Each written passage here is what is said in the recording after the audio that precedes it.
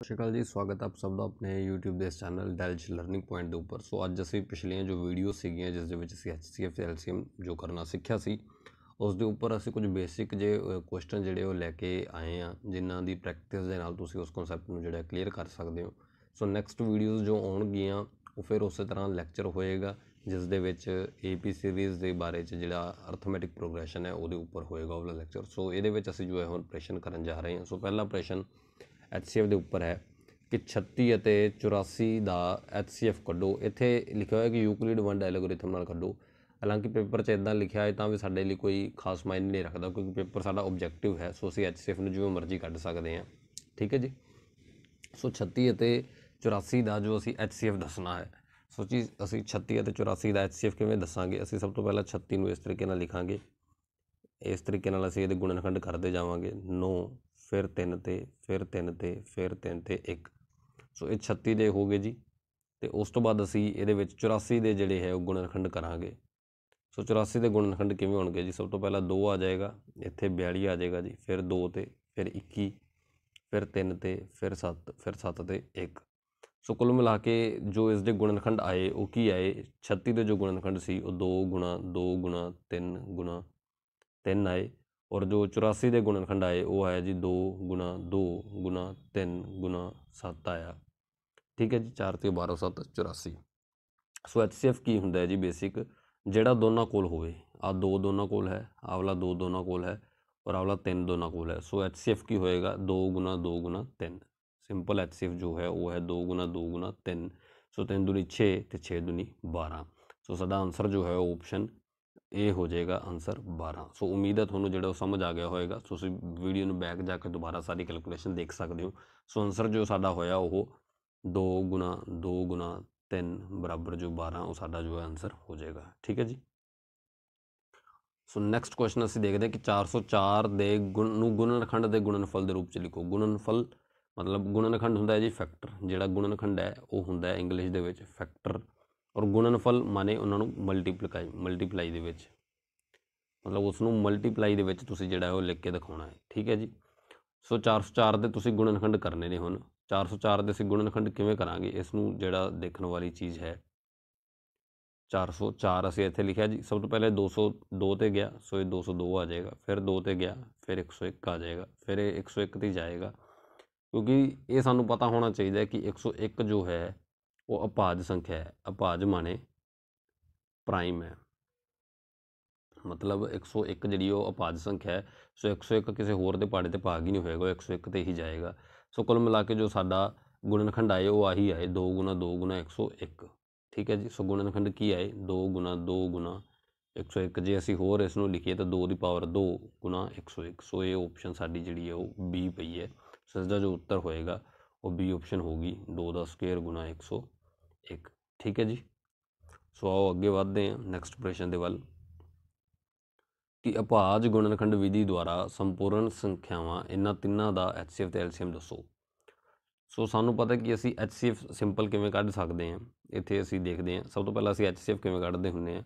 ਅਸੀਂ HCF ਚ ਇਸ ਤਰੀਕੇ ਨਾਲ ਲਿਖਦੇ ਇਹ ਪਹਿਲਾਂ ਜਾਏਗਾ 3 ਦੇ ਪਹਾੜੇ ਤੇ ਦੈਨ 5 1 ਸੋ ਇਹਦਾ ਜੋ ਆਇਆ ਉਹ 3 ਗੁਣਾ 5 ਹੀ ਆਇਆ ਕੱਲਾ ਔਰ 25 ਨੂੰ ਅਸੀਂ ਜਦੋਂ ਲਿਖਾਂਗੇ ਤਾਂ ਕੀ ਲਿਖਾਂਗੇ? 5 ਤੇ ਫਿਰ 5 ਫਿਰ ਇੱਥੇ 5 ਔਰ 1 ਇਹ ਆਇਆ 5 ਗੁਣਾ 5 ਉਮੀਦ ਹੈ ਤੁਹਾਨੂੰ ਸਮਝ ਲੱਗ ਰਹੀ ਹੋਵੇਗੀ। ਔਰ ਜਿਹੜਾ 30 ਹੈ 30 ਦੇ ਗੁਣਨਖੰਡ ਕਿਵੇਂ ਕਰਾਂਗੇ? ਜੀ ਅਸੀਂ 2 ਫਿਰ ਇੱਥੇ ਆ ਜਾਏਗਾ 15 ਫਿਰ 3 ਫਿਰ 5 ਫਿਰ ਇਹ 5 ਤੇ ਜਾਏਗਾ ਤਾਂ 1 ਆ ਜਾਏਗਾ। ਠੀਕ ਹੈ ਜੀ? ਸੋ ਕੁੱਲ ਮਿਲਾ ਕੇ ਅਸੀਂ ਜੋ ਕੰਮ ਕੀਤਾ, ਉਹ ਇਹ ਕੀਤਾ ਕਿ 15 ਦੇ ਗੁਣਨਖੰਡ ਅਸੀਂ ਲਿਖੇ 3 ਗੁਣਾ 5 25 ਦੇ ਗੁਣਨਖੰਡ ਅਸੀਂ ਲਿਖੇ 5 ਗੁਣਾ 5 ਔਰ 30 ਦੇ ਗੁਣਨਖੰਡ ਅਸੀਂ ਲਿਖੇ 2 ਗੁਣਾ 3 ਗੁਣਾ 5 ਸੋ ਇਹ ਗੁਣਨਖੰਡ ਸੀ। ਸੋ ਅਸੀਂ HCF ਉਹ ਹੁੰਦਾ ਜੋ ਤਿੰਨਾਂ ਕੋਲ ਹੋਵੇਗਾ। ਸੋ ਤਿੰਨਾਂ ਕੋਲ ਇੱਥੇ 3 ਹੈ। ਕੀ ਇਹਦੇ ਕੋਲ 3 ਹੈ? ਨਹੀਂ ਹੈ। ਸੋ 3 HCF ਚ ਨਹੀਂ ਜਾਏਗਾ। ਠੀਕ ਹੈ ਜੀ? ਸੋ ਇਹਦੇ ਕੋਲ 5 ਹੈ।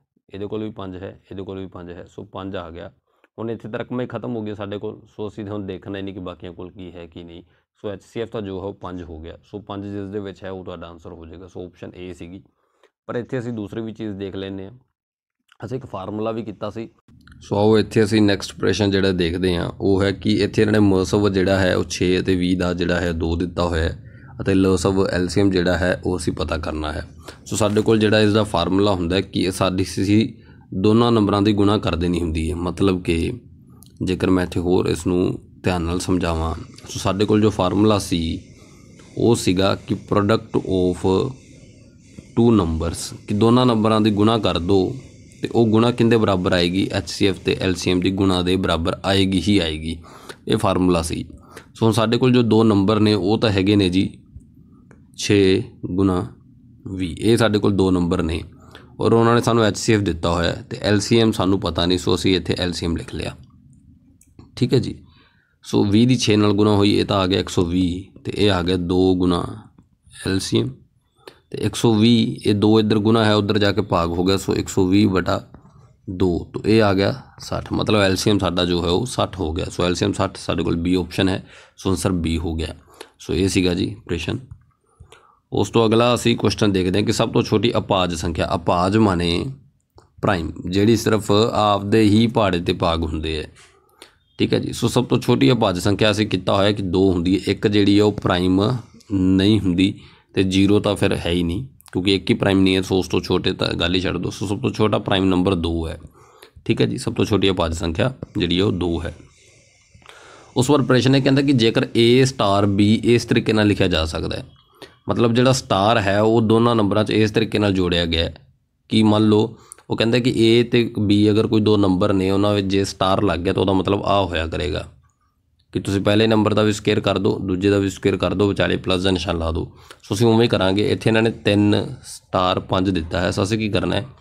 3 ਦਾ ਵੀ ਸਕੇਅਰ ਕਰ ਦੇਣਾ ਹੈ ਤੇ 5 ਦਾ ਵੀ ਸਕੇਅਰ ਕਰ ਦੇਣਾ ਹੈ।